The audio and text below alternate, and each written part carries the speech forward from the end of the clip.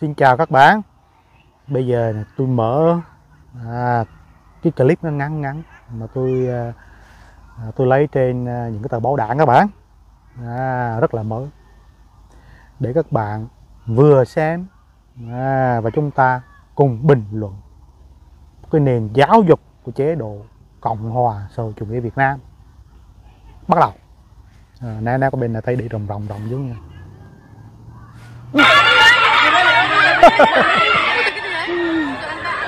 đây là những phụ huynh ở Hà Nội các bạn. Các bạn biết người ta làm gì đó không có phải mua tan phiếu không? Không phải. Người ta thích xuyên đêm để mà nộp hồ sơ vào cái con học lớp 1 tội nghiệp chưa các bạn? Thức xuyên đêm nhé, ở Hà Nội nhé mà đây là trường hợp điển hình mà thôi, chỗ nào cũng vậy cả, nhất là những chỗ đông dân. Ví dụ như Hà Nội và thành phố Hồ Chí Minh khổ sở chứ. Phụ huynh lấn nhau, la nhau, chen lấn, xô đẩy nhau và có thể đánh nhau. Để mà giành chỗ cho con từ mẫu giáo lên lớp 1 tội nghiệp chưa? Chế độ xã hội chủ nghĩa ưu việt của loài người là như thế đó. Thấy thấy cảnh này thảm quá các bạn. Thật ra tôi những cái cảnh này tôi thương cho các phụ huynh. Mà đây là những phụ huynh trẻ không à. Tại vì mới có con mới học lớp 1 chứ mấy. Đây là nộp đơn vào học trường công hay các bạn. Trường công ở Việt Nam á, vẫn phải trả phí vẫn phải trả học phí và đóng góp rất nhiều khoản cho nhà trường trường công đó, trường nhà nước đó. Không có miễn phí đâu. Mà nộp tiền như vậy á à, mà xin học cũng phải dễ. Phụ huynh là phải xếp hàng xuyên đêm. Mà xuyên đêm rồi á, phải giành nhau, chửi nhau, thậm chí đánh nhau giành chỗ. Để được cho con vào học lớp 1 trường công. Tính phí. Đó chế độ xã hội chủ nghĩa đó ưu việt đó. Ưu việt đó. À, nhưng mà tất nhiên trường công á, là mặc dù là trường tính học phí nhưng mà học phí rẻ hơn trường tư. Học phí rẻ hơn những cái trường mà liên kết với nước ngoài hoặc là nước ngoài các bạn. Những cái trường tư những cái trường à, liên kết nước ngoài với nước ngoài học phí rất rất là cao. Mà con nhà khá giả kia mới học nổi. Còn thường thường là học trường công mặc dù là nộp phí. Nhưng mà người ta ráng cho con đi học. Nhưng mà đi học cũng phải dễ nhất là ở những cái thành phố đông dân. Như tôi nói là ở Hà Nội cái thành phố Hồ Chứa Mưa. Rất cực khổ các bạn. Đó bây giờ tôi cho các quý vị à, Việt Kiều và người gốc Việt thấy cái tình trạng của những học sinh ở Việt Nam là như vậy đó. Khổ cực lắm. Vô nộp tiền rồi, mà học là toàn tẩy não. Nhưng mà cũng dễ dàng gì mà mà đưa con vào để mà người ta tẩy não đâu. Phải cực khổ, gian nan, vất vả. Nhưng clip hồi nãy các bạn. Đau khổ quá ha. Ngay cả cái chuyện này thì tôi hỏi những cái người Việt Kiều và người gốc Việt, nghe tiếng gọi của Cộng sản Việt Nam, đi về Việt Nam à, để mà định cư định cư ngược lại. Có nên hay là không? Ngay cái cái chuyện đi học này thôi. Lưu ý là nộp phí đó nha. Thức nguyên đêm đó nha, để mà xếp hàng đó nha à, mà đây dân Hà Nội người ta người ta người ta người, người ta coi như là chen lẫn nhau giỏi lắm. Thế còn quý vị là người Việt Kiều và người gốc Việt sống ở những nước tư bản phát triển ví dụ như là Mỹ, Canada, Úc hay là châu Âu quý vị thật thà chất phát đàng hoàng quen rồi.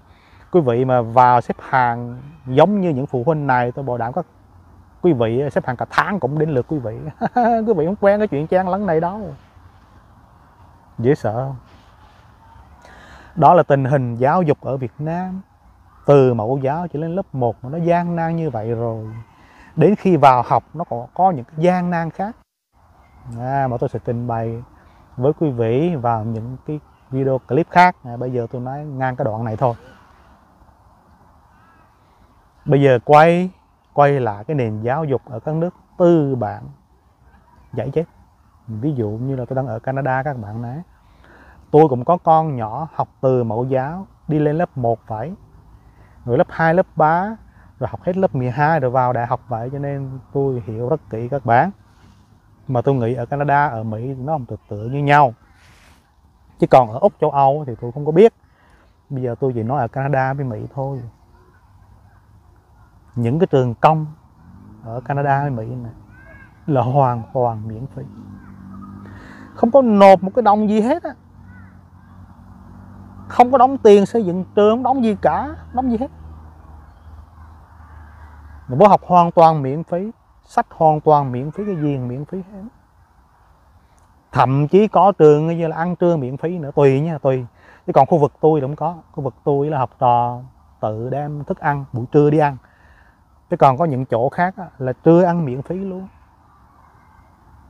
Sướng không? Quá sướng rồi chứ. Không có phải vất vả mà ngồi mà chen lẫn cả đêm thế này để mà nộp hồ sơ cho con. À, bên này người ta quy định hay lắm các bạn. Mình ở khu vực nào thì mình học khu vực đó. Không có cái chuyện là học trái tuyến.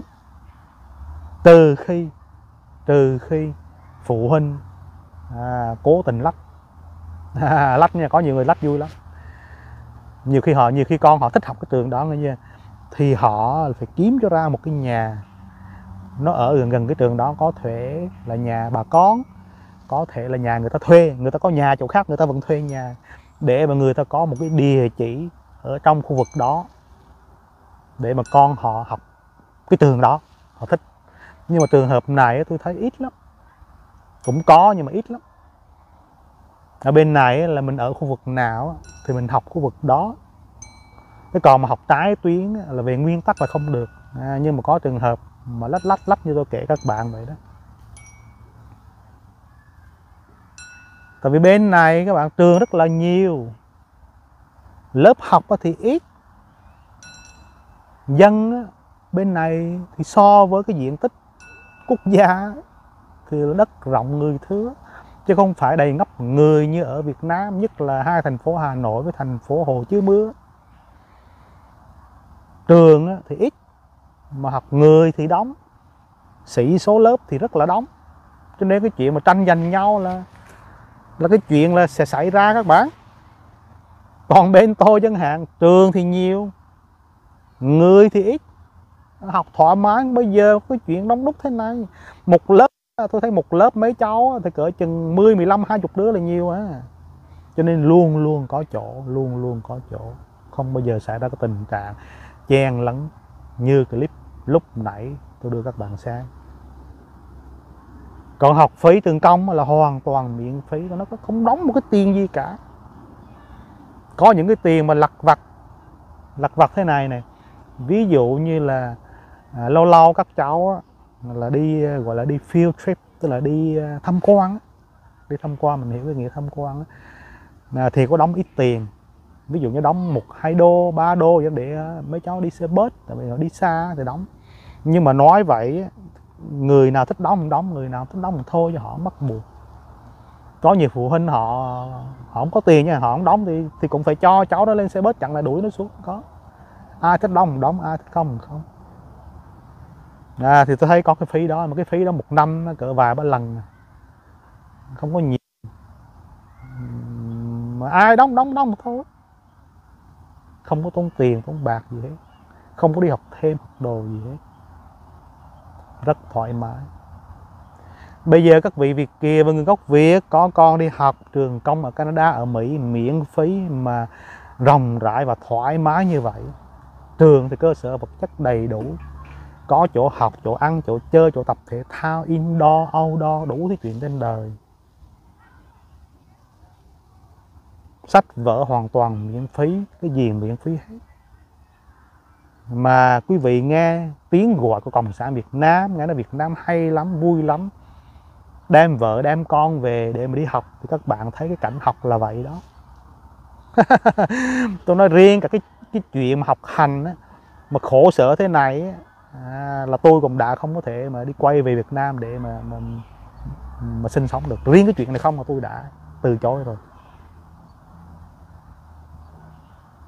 Bây giờ quý vị cứ tưởng tượng là con cháu của cộng sản Việt Nam, cao cấp là người ta đang tìm đường, người ta đi nước ngoài, đi qua những cái nước phát triển, ví dụ như Mỹ, Canada để mà đưa con người ta đi học.